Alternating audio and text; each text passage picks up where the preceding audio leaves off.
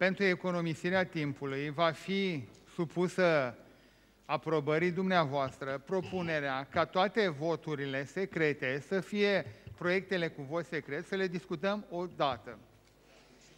În același timp, vom împărți, am vorbit cu doamna președintă a Comisiei de Numărare, vom împărți buletinele de vot pentru toate proiectele și ca să nu fie situația că avem 120 de buletine ca pe urmă să mai dureze două ore să le alegem distinct, vom striga proiectul. Vă rog frumos, depuneți în urnă proiectul 4. Se va scoate proiectul 4, se va pune pe masă. Vă rog frumos, veniți, depuneți buletinul pentru proiectul 5. Sunteți de acord? Bun. Acum se va împărți la fiecare din dumneavoastră buletine pentru toate cele 1, 2, 3, 4, 5, 6. Deci supunem aprobării dumneavoastră în timp ce discutăm și vă vom împărți uh, buletinele, vom da cuvântul să derulăm și punctul 2. După discutarea punctului 2, există propunerea de modificare și de aducerea în atenția dumneavoastră a proiectelor 4, 8, 9, 10, 11 și 13a. Cine este pentru?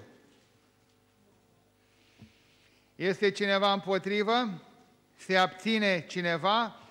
În unanimitate, proiectele 4, 8, 9, 10, 11, 13A vor fi votate odată, după procedura enunțată, după proiectul numărul 2.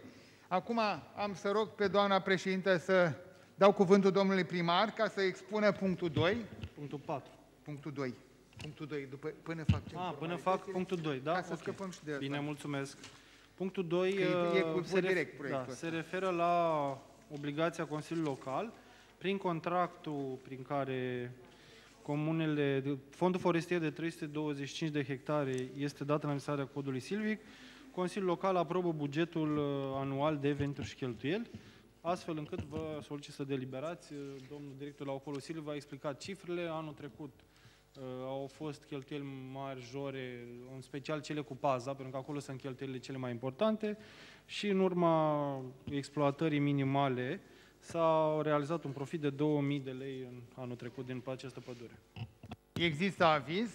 Acum o să luăm avizele de la comisie. Domnul Ștefan, Favorabil. domnul Crețu, domnul Munteanu, Favorabil. domnul, doamna Dinu, domnul Chiciu, cine e de la comisia 5? Vă mulțumesc. Supunem la vot proiectul. Cine este pentru? Este cineva împotrivă? Se abține cineva? Cu 21 de voturi a fost aprobat proiectul numărul 2. Acum supunem la vot proiectul numărul 3 de pe ordinea de zi. Dau cuvântul domnului primar. Prin acest proiect de hotărâre luăm act de datoria municipiului Bacău către societatea Termoenergy. Reprezintă pierderi induse de prestarea serviciilor publice de producție, transport și distribuție și furnizare energiei termică în sistemul centralizat. Vă mulțumesc să deliberați. Aviz. Domnul Ștefan, La ce proiect, domnul? la proiectul 3. Nefavorabil. La, proiect, la domnul Crețu. Domnul Crețu, Comisia 2. Cine e din Comisia 2? Domnul Munteanu, Favorabil. doamna Dinu, Favorabil. domnul Chiciu, cine e de la Comisia 5? Vă mulțumesc. Supunem la vot proiectul. Cine este pentru? Este cineva împotrivă? Se abține cineva? O abținere a domnului eh, Candet? Un vot împotriva domnului Candet? Deci îl lipsesc din sală domnul Chiciu, domnul Crețu, domnul Manolache.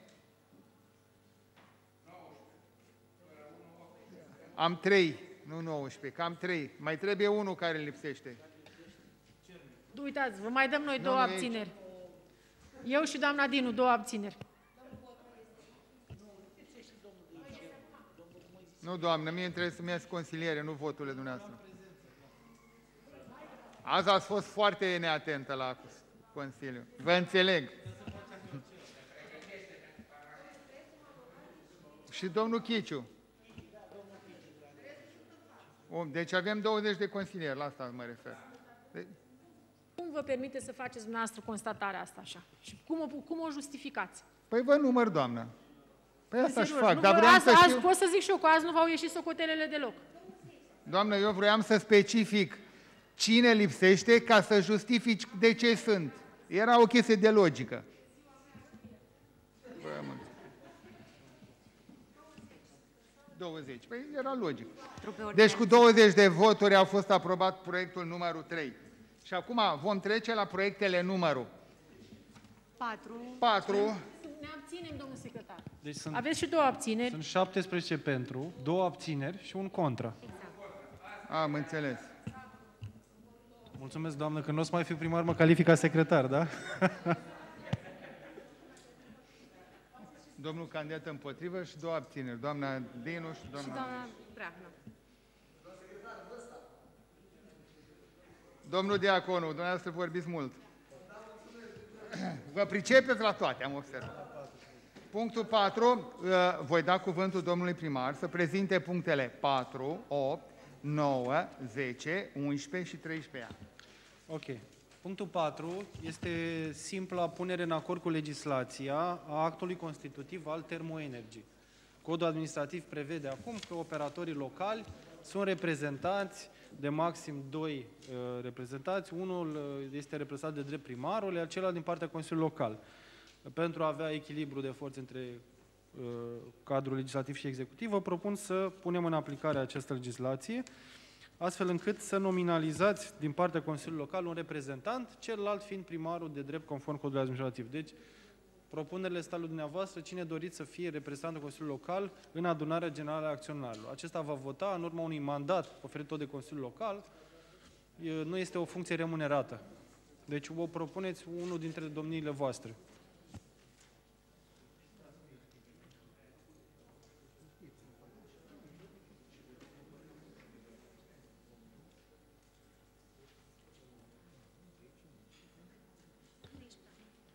Dacă nu există propuneri, pot să fac eu o propunere. A, există? Deci din partea grupului PNL-PMP, domnul Cătălin Crețu. Cătălin, cred.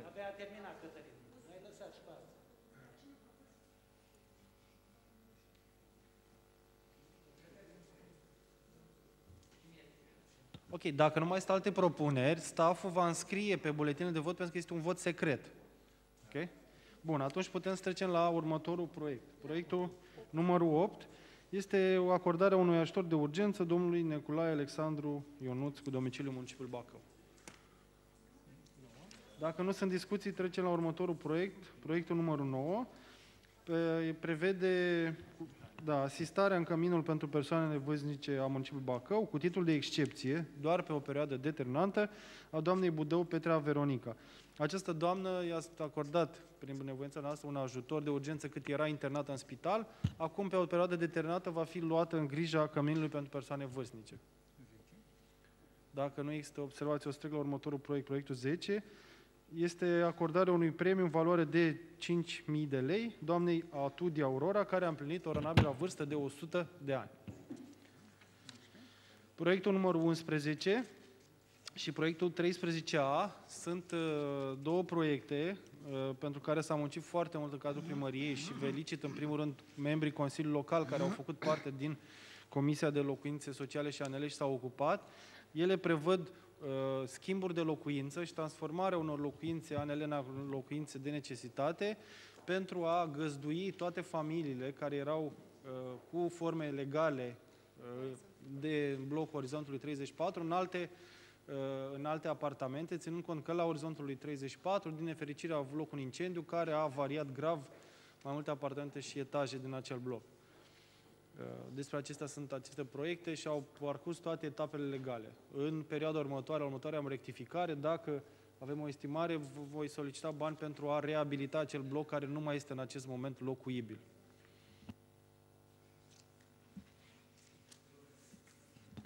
Acestea sunt Vi se proiectele... vor împărți buletinele. Trei.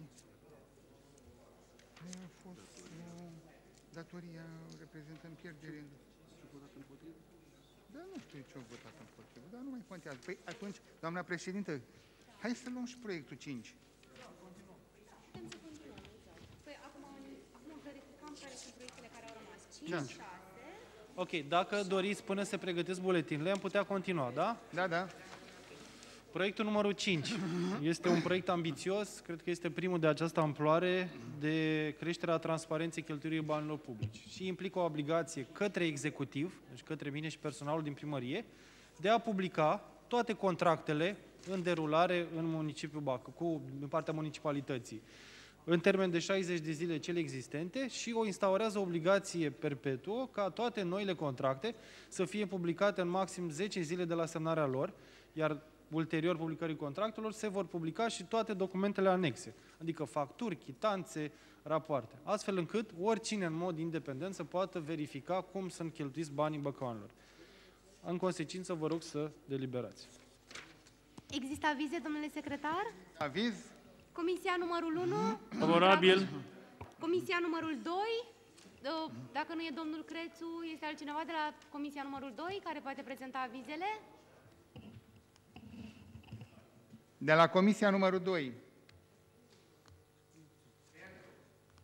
Favorabil, adică. Favorabilă. Uh, Comisia numărul 3, domnul Munteanu. Favorabil. Comisia numărul 4, doamna Dinu. Comisia numărul 5, domnul Chiciu nu e. Este altcineva de la comisia numărul 5? În regulă, Da. favorabil. Supunem la vot proiectul numărul 5. Cine este pentru? Este cineva împotrivă? Se abține cineva? Doamna Breahnă, cum ați votat? Că n-am văzut. Poftim? La 5. La 5. E pentru? Vă mulțumesc mult. Deci, cu, câte, cu 20 de voturi, proiectul de hotărâre a fost aprobat. Punctul 6, doamna președintă. O secundă, să notez. Punctul 6, dau cuvântul domnului primar să prezinte expunerea de motive. Mulțumesc. Mulțumesc în primul rând pentru votul unanim la proiectul de transparență. În uh, punctul 6, proiectul de hotărâre asigură, uh, își dorește asigurarea resurselor financiare mai întâi de principiu pentru subvenționarea 100% a biletelor de transport pentru elevi, de altfel o obligație legală a municipiului Bacău.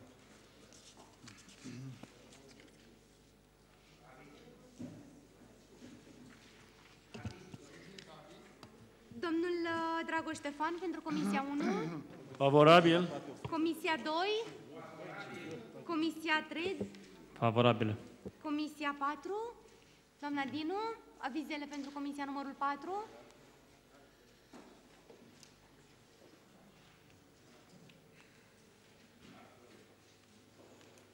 Până găsește doamna Dinu, Comisia numărul 5.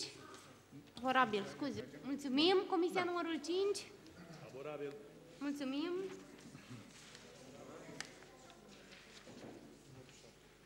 O secundă că vreau și eu să botez. Uh, supun uh, discuției uh, punctul, ș- punctul 7 și îl rog pe domnul primar să prezinte expunerea de motive. Da. Um, Punctul 7, necesitatea acestui proiect venea din constrângerile bugetare care existau la momentul discutării oportunității. Între timp și în urma votului dumneavoastră de astăzi, prin care ați acceptat donația pentru achiziționarea testelor antigen, în urma economiilor făcute cu iluminatul festiv, acest proiect își pierde necesitatea și vă solicit să-l retragem după ordinea de zi, rămânând ca bugetul deja alocat către DAS să meargă pentru plata acestor tichete sociale pentru toate persoanele beneficiare care au fost și în, Paș, în uh, perioada pascală. Și astfel încât vă solicit să fiți de acord cu retragerea de pe ordinea de zi a acestui proiect și vă asigur că toți beneficiarii vor primi aceste etichete pentru că tocmai s-au creat economiile necesare pentru plata acestora. Vă mulțumesc! Cine este pentru retragerea acestui proiect? Deveniți socialist. Este cineva împotrivă? Se abține cineva? Cu 20 de voturi s-a aprobat retragerea de pe ordine. de zi. Mulțumesc, uh, 12. stima- 12. stimați consilieri și mulțumesc, doamnă Breagnă, nimeni nu e perfect. Doamna ne președintă, îmbunătățim. punctul 12. Din obișnuință.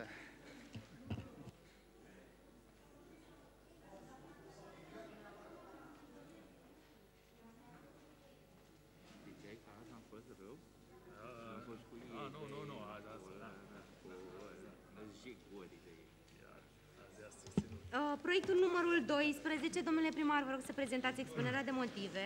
Da, mulțumesc.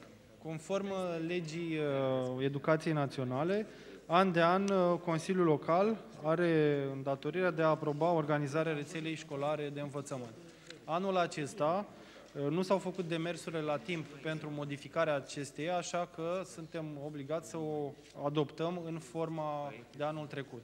Am avut discuții cu doamna inspector școlar uh, Ida Vlad, la fel și cu domnul Dragoș Ștefan și uh, am ajuns la concluzia că cel mai bine este să înființăm o comisie din partea domnilor voastre, ca în uh, următoarele 4-5 luni să facă o analiză asupra rețelei școlare, să facă o propunere care să intre în circuitul de avizare pentru următorul an școlar cu modificări. În acest moment vă supun uh, deliberării aprobarea rețelei de școli în forma în care mai există, nemai existând posibilitatea legală de a o amenda, de a o modifica. Există avize, domnule secretar? David? Domnul uh, Ștefan Dragoș? Favorabil? Comisia numărul 2? Favorabil. Domnul Munteanu? Favorabil. Doamna Dinu? Favorabil. Comisia numărul 5? Favorabil. Sunt discuții asupra acestui proiect? Nu? În regulă. Domnule secretar, puteți supune la vot proiectul numărul 12. Cine este pentru? Este cineva împotrivă? Se abține cineva? Cu 20 de voturi a... Cum? Revenirea domnului Crețu, avem 21 de consilieri, cu 21 de voturi a fost aprobat proiectul de hotărâre.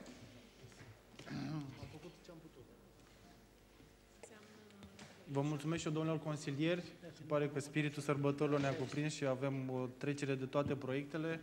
Pe această cale aș vrea să urez uh, celor trei colegi ai noștri care vor merge în Parlamentul României mult succes în noul mandat, uh, în speranța în care nu vom avea nicio urgență să ne revedem până pe 21. Punctul diverse, mai sunt... Vă rog, domnule Chirilescu, pentru punctul diverse. Dacă îmi, da, dacă îmi permiteți, o să Înainte trec- de a lua cuvântul domnul Chiriescu, dacă îmi cer uh, scuze, vreau să fac precizarea că la toate proiectele cu vot secret, că trebuia să fac această precizare, există avizul și există și rapoartele de specialitate ale comisiilor care v-au și fost comunicate și dumneavoastră ați Pe luat e-mail. cunoștință de ele. Pot da cuvântul domnului Chirilescu? Vă rog, domnule. Domnule secretar, vreau să vă întreb în legătură cu uh, enunțul de la începutul ședinței, dacă există vreo sancțiune la adresa mea cu privire la discuția făcută. Există nicio Ok. sancțiune, Doamne Ok. ferește. Domnul Mulțumesc. primar va și Am a înțeles. un punct de vedere Bun, corect. uh, Aș, aș vrea, domnule primar, să vă aduc la, uh, la cunoștință câteva aspecte. Unul este legat de uh, companiile care desfășurează act, activități de comerț în târgu auto.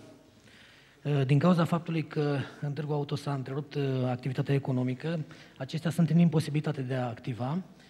Totuși, li s-a facturat uh, serviciile pentru luna noiembrie și inclusiv uh, lunile de primăvară, Uh, și aș vrea să luați în considerare aceste aspecte și să discutați cu dumnealor, poate găsiți o, for- o formulă să-i scutiți de la, de la plata acelor facturi, dacă nu, nu a avut posibilitatea de a desfășura activități economice. Da. Închiderea târgului auto rezidă din legislația națională. Doi, contractele de închirieri pe care le au nu cred că prevăd astfel de lucruri, deci trebuie să le plătească. Ce putem face este împreună să acordăm niște scutiri ulterioare, dar contractele trebuie uh, duse la termen și încasați acei bani. Urmează ca noi, constatând că nu au putut să-și îndeplinească uh, activitatea pentru care au închiriat acel loc, așa cum am făcut în alte cazuri. Deci vă invit, dacă doriți, să veniți cu un proiect de hotărâre sau, dacă preferați, pot să-l inițiez eu pentru data viitoare. În regulă. Și Mulțumesc. punctul 2 pe care vreau să-l discut e legat de taxele și impozitele la, la poșta română de a putea fi achitate. Știți, am mai discutat despre acest subiect și reiterez nevoia acestui Da. se- serviciu de a fi funcțional. El a funcționat până acum și cred că e nevoie să refacem acel protocol, mai ales considerând uh, contextul pandemic și focarul de infecție care este la taxe și impozite locale, ceea ce a pus în, în imposibilitatea de a uh, accede la acest serviciu din partea cetățenilor. Da, domnul Chilescu, aș vrea și eu să lămurim acest lucru. Deci contractul cu poșta nu a fost reziliat. Contractul cu poșta, când a fost, uh, dacă verifici la încasarea taxelor și impozitelor, da? Mă refer la, la acel protocol de acces în- la baza de date, care a expirat și trebuie reînnoit. Pentru încasarea, Exact. da, nu. Deci sunt două lucruri diferite. Despre acest protocol, nu știu dacă a expirat, îl renoim. Eu la protocol mă refer. Uh, imposibilitatea încasării în sediile poștei române a taxelor a survenit datorită faptului că plafonul maximal acordat comisioanelor pentru poșta română în cadrul contractului s-a depășit. Existând uh, stările de urgență, foarte mulți oameni au mers la poșta română și contractul s-a finalizat înaintea termenului calendaristic. În contractul avea limitat un număr, o sumă maximă de comision care îi s-a acordat poștei române el intră în vigoare în anul lui din 1 ianuarie. Deci din 1 ianuarie, în mod automat, fără să mai facem noi nimica, cetățenii vor putea în continuare să-și plătească acolo taxe și impozite. Uh, cât despre protocol, o să discut colegii dacă este necesită o actualizare. Iar despre partea de încasări, nu cred că este suficient doar sediile poște române, mai ales să luăm în considerare că comisioanele plătite la poștă română sunt printre cele mai mari pentru orice formă de încasare, astfel încât deja am demarat discuții cu rețele private, de uh, puncte de colectare de bani care sunt prin tot orașul și o să facem probabil o competiție între ele pentru a ne oferi cele mai multe puncte de încasare la cel mai mic comision. Astfel încât și cetățenii să aibă mai multe puncte de colectare, dar și comisioanele pe care noi le suportăm să fie cât mai mici. Deci, ca un răspuns pentru cetățeni, de la începutul lunii ianuarie, din nou vor putea plăti taxele și impozitele la poșta română, da? Da, și Ok. ulterior, în anul viitor, vor încep, vor- vom deschide mult mai multe moduri de a încasa taxele impozite să fie cât mai facil pentru toată lumea. Vă mulțumesc. Și eu vă mulțumesc. Mai adăuga aici că online este și mai ușor. Pentru că acum este o persoană care tot timpul validează acele conturi, pot fi trimise uh, copiile după buletin, se validează contul online și fiecare cetățean poate plăti mult mai ușor. uh, Sunt taxe total și de impozite. acord. Eu mă refeream doar la categoriile Am care înțeles, nu da, au da, acces la tehnologia modernă și care trebuie să se deplaseze pentru a efectua plata fizic. în Trebuie mod să le fizic. susținem, într-adevăr, Ok. da. Și foarte bună inițiativa și ideea, da. Mulțumim. Mulțumesc, domnule viceprimar. Vă rugăm să aduceți buletinul de vot la proiectul numărul 8. Domnul primar și domnul secretar, având în vedere experiența ședinței de astăzi și a celor anterioare, vă rog să încercăm să simplificăm, să urgentăm procedurile pentru regulamentul de organizare a ședințelor Consiliului Local, așa Păi fel noi încât vi l-am, uh, vi l-am transmis la fiecare consilier în parte și așteptăm din partea dumneavoastră minimele observații care le aveți, iar în prima ședință a lunii ianuarie, eu sper să le, să-l putem uh, supune votului dumneavoastră. Da? Mulțumesc foarte mult.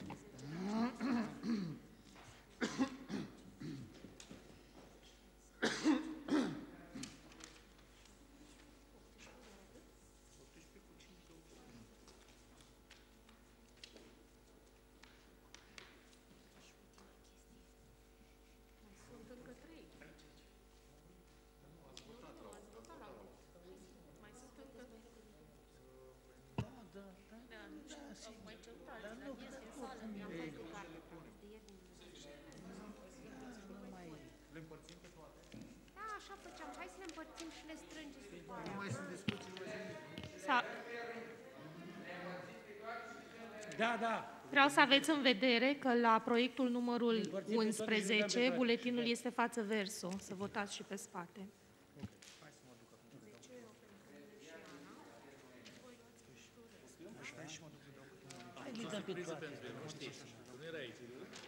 Hai să o facem pe o parte și o parte și gata. Sau cum? Da, de ce nu? Da, da.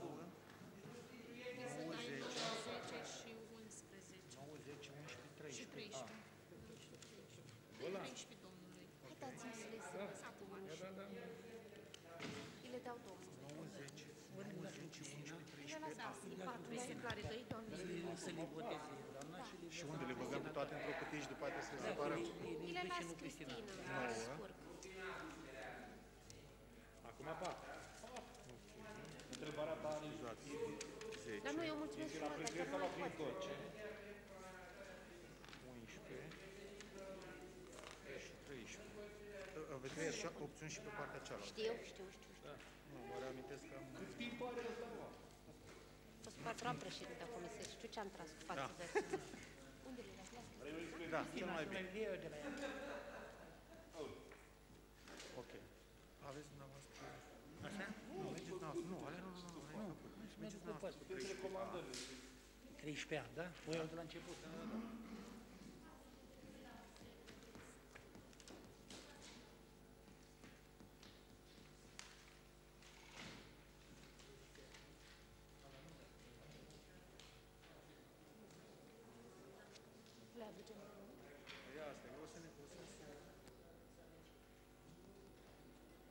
Le puneți pe loturi. Pe loturi? Da, da, da, secret și n-am vrut să Păi nu, se le predă toată dată și trebuie să le puneți mai apoi pe căprării. Gen așa. Da, hai să punem. Da, știi ce simțim noi. Da, gen așa. Pa, pa, uite așa. Nu. Să nu pe aici. O să vă rog să țineți buletinele la dumneavoastră și când vă chemăm să veniți cu buletinul din dreptul proiectului de hotărâre. Mulțumesc mult. Uh, Sebastian, o să le punem pe toate în urnă, deci le aduceți pe toate, le punem în urnă și apoi noi le împărțim, sunt patru categorii.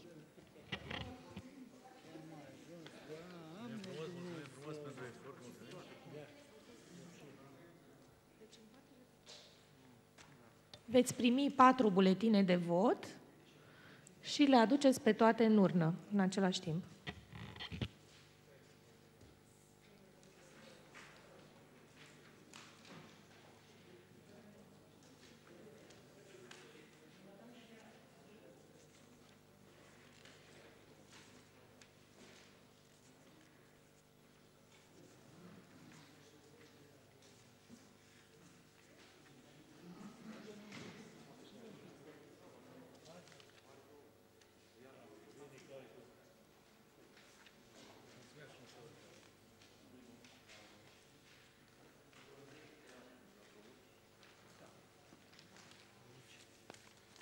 Ai și față versul la 11. La 11 ți-l dau eu acum.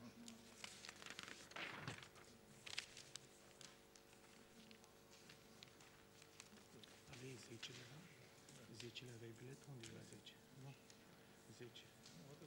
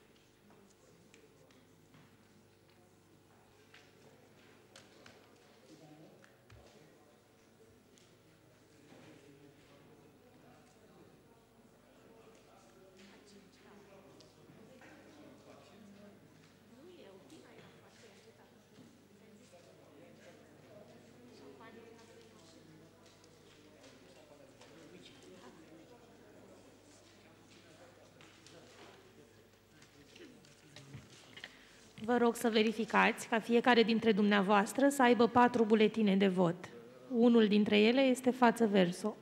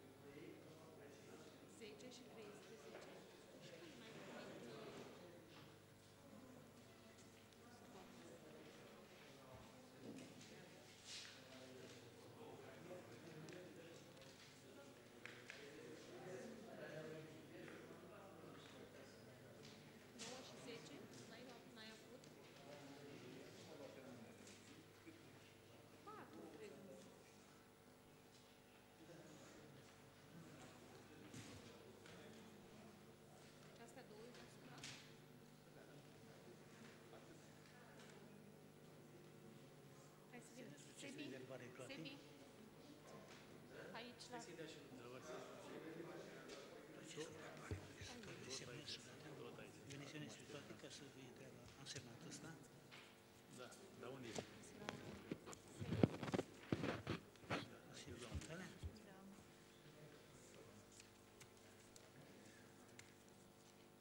Se pune procesul verbal ca să semnați, gata, semnați.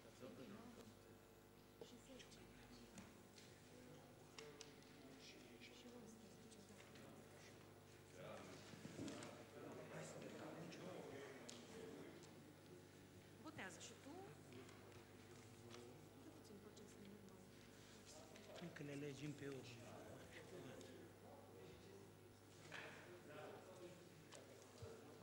Noi ultimul sau cu două mai avem.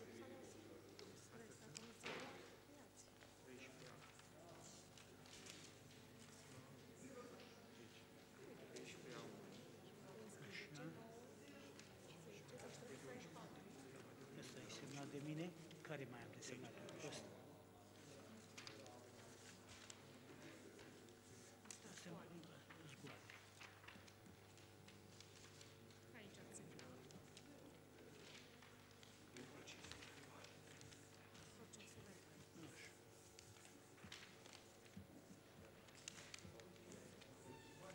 Nu mai spun, da? Să nu mai avem. Procese verbale nu. Da, Da, da. La grămadă că le alegem noi. Le alegem noi. Față de la Adică nu noi. Că să așa mai Și așa, tu văd, la 11 de Toate procesele verbale, nu? La 11 de mult. Da, da, da. da. Da, trebuie. Asta e. Păi cerem, solicităm la microfon. Păi eu zic să terminăm. Vă rugăm să depuneți buletinele de vot.